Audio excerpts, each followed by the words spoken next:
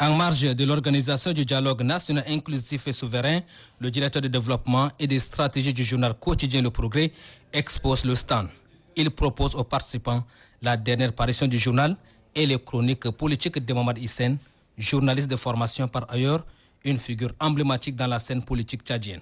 Les chroniques politiques de M. Mohamed Hissène, qui a été un grand journaliste de talent et également un grand homme politique qui connaît bien la situation politique du Tchad.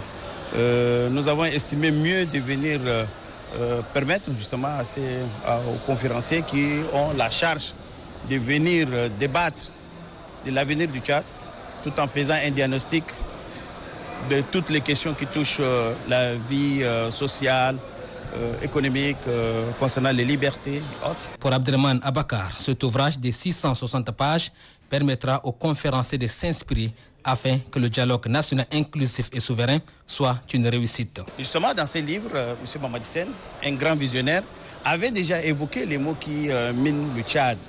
Et il a également expliqué un peu les différentes options qui s'offrent comme solution et également les solutions euh, qui sont exposées dans ces livres. À travers cette exposition, le directeur de développement et de stratégie du journal quotidien Le Progrès apporte sa modeste contribution pour la réussite du dialogue national inclusif et souverain, un grand rendez-vous pour le peuple tchadien.